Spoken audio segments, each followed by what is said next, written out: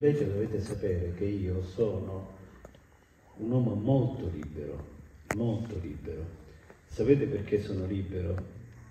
Sì, devo discutere come arrivare da qui a fuori la porta, però io sono molto libero perché mi sono costruito una vita eh, per potermi permettere il lusso di dire quello che penso.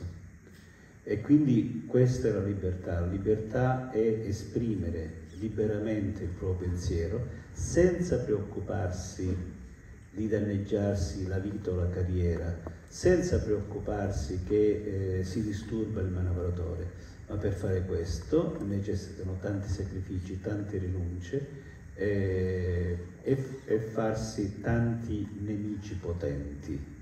Oggi è venuto in un territorio come quello di Saronno dove solo pochi giorni fa è stato arrestato un ennesimo esponente di una cosca di Indrangheta. Eh, recentemente c'è stata un'altra grande inchiesta che è quella eh, di Idra, della Direzione Distrettuale Antimafia di Milano, che ha eh, ipotizzato questo sistema mafioso lombardo. Ehm, lei crede in questa visione del fatto che le mafie si stiano unendo in qualche modo, si stiano organizzando a livello economico per gestire grandi capitali?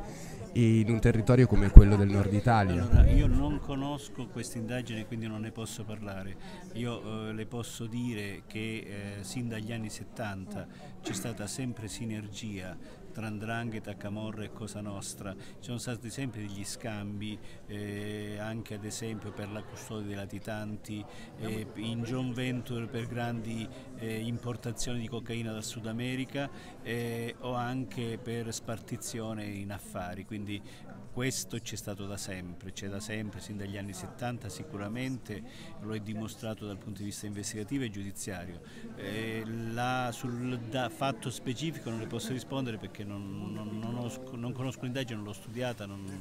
Diciamo che in questo territorio comunque la mafia è sempre più economica e sembra Ma che certo, ci sia quasi certo. una normalizzazione da parte anche della società civile nel eh, entrare in affari con questo tipo guardi, di personaggi eh, perché c'è un'utilità spesso. Allora guardi, eh, la regione, eh, dopo la Calabria, la regione ha maggiore presenza andranghetistica che proprio la Lombardia, perché la Lombardia è la regione più ricca, quindi le mafie vanno su un territorio dove c'è ricchezza e, e, perché dove c'è ricchezza è più facile eh, mimetizzare e, e, e, fare riciclaggio e quindi poi fare affari.